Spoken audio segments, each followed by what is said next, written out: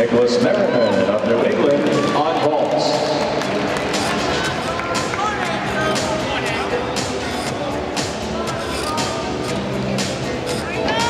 Jacob Light of Marquettes on double boards. Andrew Victor of Gymnastics on parallel bars. Levi Anderson of Oklahoma on Universal on high bar. Up next on vault for Atlanta.